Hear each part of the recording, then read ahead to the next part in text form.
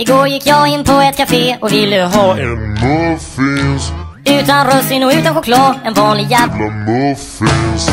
Hade de det? Nej, för de hade Bara mackor med pastej och en liten svettig fralla med fisk och remoulad. Jag brukar vara i god balans, gör inga stora scener. Men inte trodde jag att kaféer fanns som inte hade muffins. Fattar ni det? Nej, för ni käkar bara mackor med pastej och kan inte förstå en riktigt ledsen människa.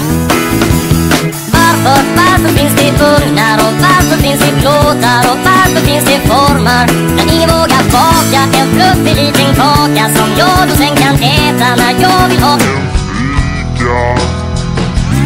En enkel fråga ställde jag till den lilla expediten. Om du stått här och inte jag, skulle du då bli besviken? Men hon svarade nej, jag skulle Med pastej Hålla käften, ta en tidning och sätta mig